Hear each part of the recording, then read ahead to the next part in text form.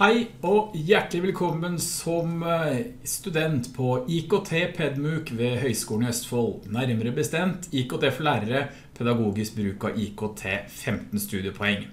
Og dette er en MOOC, og for du som ikke har vært borte det tidligere, så står MOOC for Massive Open Online Courses. På godt norsk så kan vi si at dette er et skalerbart nettbasert studie.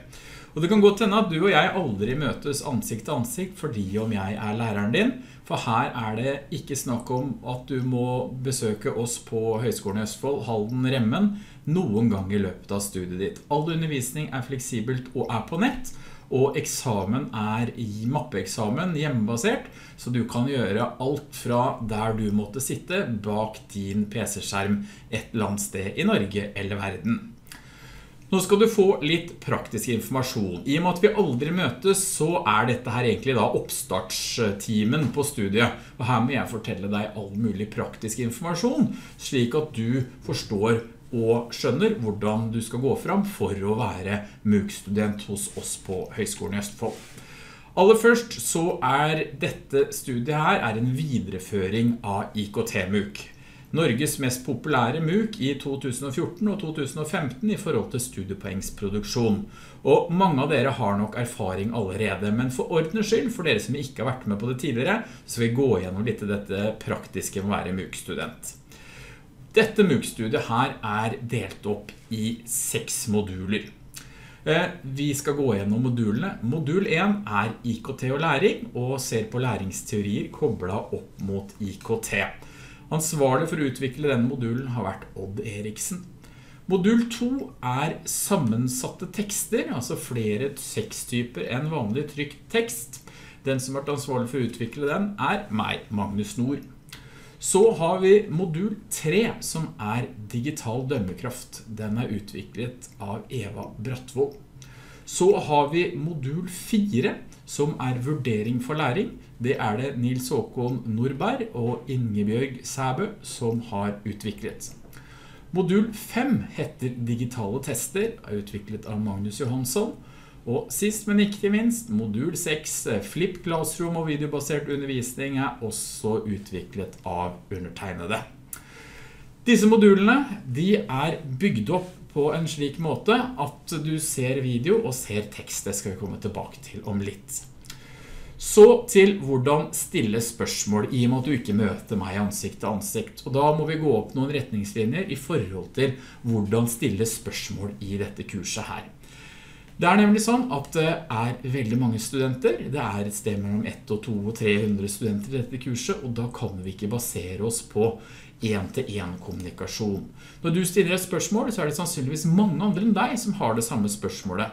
Derfor vil vi at du først og fremst skal stille spørsmål i diskusjonsforum, så når jeg svarer deg, så svarer jeg også mange andre studenter. Vi vil først og fremst ha spørsmålene i dette kurset i diskusjonsforumet vårt i Canvas. Canvas er vårt LMS, det står for Learning Management System. Du har sikkert hørt om eh, It's Learning og Fronter og sånne ting. Vi bruker da bare et annet type LMS som heter Canvas. Og inne her så er vi delt inn i forskjellige moduler. Så har du en spørsmål til min modul nummer to, sammensatte tekster, så går du inn der og så stiller du spørsmålet. Og vi vil pointere veldig at vi ikke ønsker enkeltspørsmål. Og det vi absolutt ikke ønsker, det er enkeltspørsmål til meg på Facebook. Eh, og grunnen til at vi ikke vil ha enkeltspørsmål til meg på Facebook, det er at vi har delt inn dagen og uka i temaer i mange forskjellige personer som driver support til dere. Så hvis du stiller spørsmål til meg, så er det kanskje ikke jeg som skal sitte og svare på det spørsmålet, og kanskje det ikke er jeg som har den beste kompetansen på det spørsmålet. Og derfor er det viktig at hvis du vil ha raske og gode svar, noe som vi synes er veldig viktig i et nettstudie, så må du stille det i sosiale fora. Facebook er en annen fora som det også går an å stille spørsmål. Og så må jeg si da, worst case scenario, hvis du absolutt må stille et personlig spørsmål, så gjør det da i tilfelle til meg på mail, for da kan jeg eventuelt videresende det til riktig person. Men du får raskere og bedre svar, både for deg og meg, hvis du stiller det på Canvas-forumet vårt, eller i Facebook-gruppa vår. Vi prøver etter beste evne å si at practice what you preach. Det vil si at vi prøver nå i dette studiet her å undervise på noe av den samme måten som vi lærer bort i studiet. Det første du kanskje merker deg på er at pensummet pensumet her har vi laget selv, og du finner det enten på tekst eller via video. Vi har jo en modul som heter sammensatte tekster, som i stor og det hele går ut på at du kanskje kan få en høyere pedagogisk verdi eh, når du presenterer et stoff, kanskje på video, fremfor å lese det på tekst. Men at du må vurdere eh, tekstens egenart i forhold til hvilket tekstmedium du velger å publisere det i. Og i modul 6, Flip Classroom og videobasert undervisning, så er det jo helt klart sånn at videobasert undervisning er en del av det.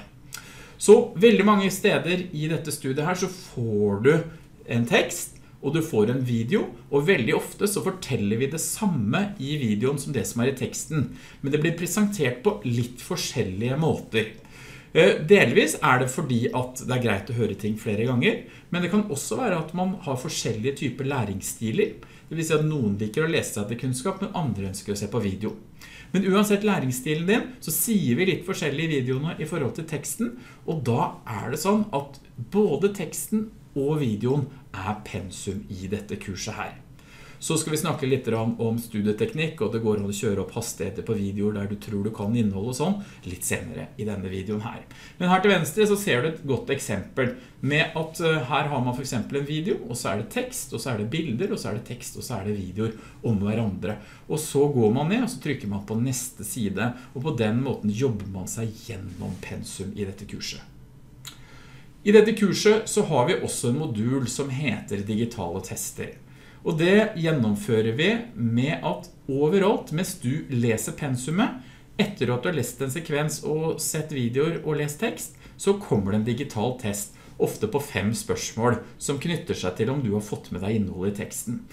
Dette er frivillig, men vi anbefaler å gjøre disse testene. For underveis i hver modul så får du et sted mellom 20-50 forskjellige spørsmål underveis i modulen, og på slutten av hver modul, der skal vi ha en modulprøve. Og da trekker vi ut tilfeldig 20 spørsmål av de spørsmålene du allerede har hatt i modulen, og så får du en modulprøve som du vil gjennomføre på multiple choice med fire alternativer i løpet av 20 minutter. Du kan ta prøven hvor mange ganger du vil, men det trekkes da tilfeldig ut spørsmål, eh, og spørsmål, svaret sorteres forskjellig i forhold til hver gang du gjennomfører denne modulprøven. Du må ha 80% bestått på hver modulprøve, som må være godkjent i eksamensmappa di. I denne modulen eh, som heter Vurdering for læring, så går vi også gjennom dette her med peer review, eller det vi på godt norsk kaller for medstudentvurdering. Det vil si at på to av modulene, eh, nemlig Vurdering for læring og Digital drømmekraft, der du få en oppgave på slutten av modulen, som du skal skrive en oppgave, og så skal du levere den. Og så skal to medstudenter av deg vurdere kvaliteten på ditt arbeid gitt ut fra gode vurderingskriterier i forhold til en slags mal for hvordan du skal rette og vurdere din medstudent sitt arbeid. Så oppgaven er delvis å levere oppgaven eh, som den er beskrevet i modulen, men oppgaven din er også å rette to andre studenters besvarelser. Og først etter at du har rettet to andre studenters besvarelser, får du svar på og vurderingen av din egen besvarelse. Dette er noe vi går gjennom i kurset, og derfor er det også en av evalueringsformene i kurset, peer review eller medstudentvurdering. Så har vi også to eksamener i kurset. Det, den ene eksamen er i uke 8, og den andre eksamen er i uke 20. Eh, og det er først cirka to-tre uker etter uke 20, altså rundt 23, at du får den totale eksamenskarakteren på studiet. Så selv om det er eksamensinnlevering i uke 8, så får du ikke vite rett etter det den første eksamen. Du får én samlet karakter på hele eksamensmappa di og hele studiet. Vi skal gå gjennom noen tidsfrister og innleveringer for å gjøre dette her litt mer tydelig for deg. For du kan skjønne at du kanskje ikke helt skjønte dette ved første gjennomgang. La oss gjøre det litt nøyere. For det første så har vi tre nivåer av vurdering her. Det første er modulprøvene som jeg snakket om. på slutten av hver av våre seks moduler så får du en modulprøve. Da er det sånn at eh, vi har en forslag her til uker som du skal gjennomføre disse.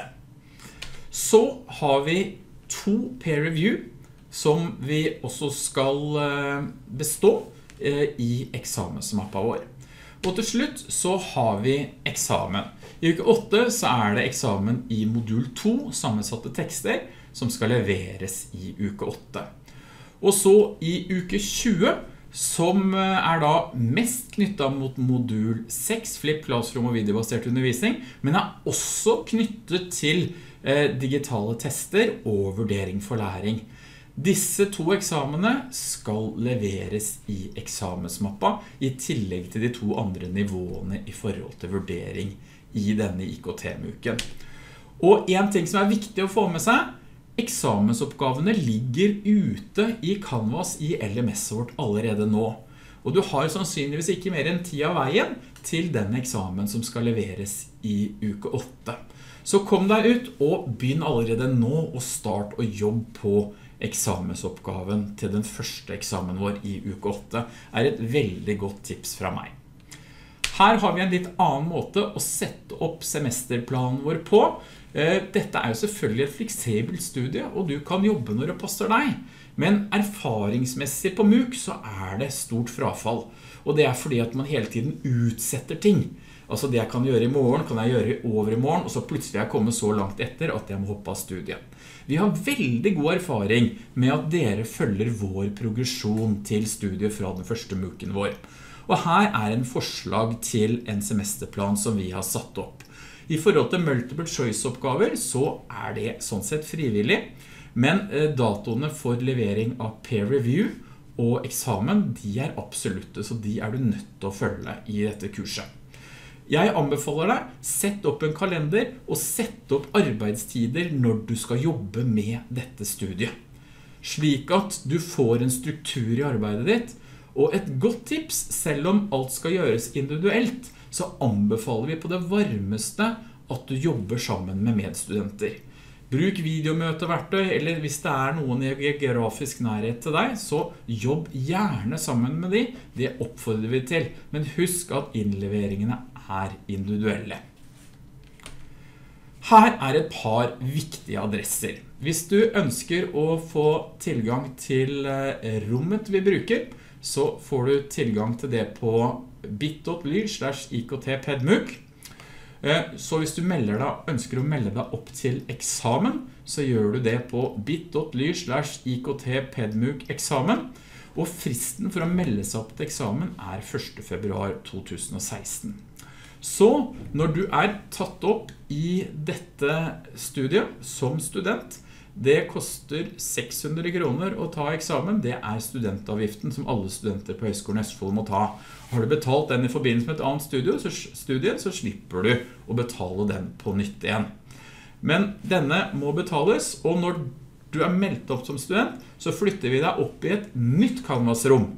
Og da vil du få en e-post som forteller om innlogging i dette nye Canvas-rommet. Og i det nye Canvas-rommet, det er der multiple choice-tester, peer review og eksamensoppgaver skal leveres. Og jo tidligere du leverer disse eksamensoppgavene, desto fortere får du retting, selv om det er absolutte frister. Så jo tidligere dere leverer, jo raskere vil dere få tilbakemelding. Men det er ganske mange oppgaver vi skal eh, rette, så det tar noe tid. Og vi håper å ha rettet det tre uker etter eksamensfristen. Informasjon i dette kurset har vi allerede sagt det skjer på eh, Canvas og det skjer på Facebook. Så vi oppfordrer alle på studiet til å gå inn på Facebook-gruppa som er facebook.com slash group slash iktpedmuk. Og der skjer forhåpentlig det meste av informasjon som du trenger i studiet. Og vi setter stor pris på om medstudenter også svarer på innlegg på lik linje som oss lærerne. Og de forskjellige veilederne som har laget de forskjellige modulene, de vil være aktiv i sosiale medier og i Canvas, og ikke bare jeg som er fagansvarlig Magnus Nord. Så det kan godt hende noen andre enn meg svarer på spørsmåla når du legger det ut i disse forumene. Til slutt så vil jeg snakke litt om digital studieteknikk. Hvis du allerede har vært MOOC-student, så kan du vel en del om dette her. Men hvis det er første gangen du er ute og studerer på dette her, kanskje du har suttet 16 år etter bussmodeller i klasserom, og er vanlig med å ha en forelesningsbasert undervisningsmetode, så kan det bli en litt brå overgang, og nå skal studere helt med eget ansvar på nett. Jeg anbefaler deg å se denne lille videosnutten som jeg har laget her om videobasert studieteknikk. Forhåpentligvis kan den gi deg mange tips til hvordan du skal studere effektivt når du er MOOC og nettstudent. Jeg ønsker deg hele mitt hjerte lykke til, og er det noe du lurer på, still spørsmål på Facebook og Canvas, så skal vi svare så raskt og så godt vi bare klarer. Ha et godt studieår.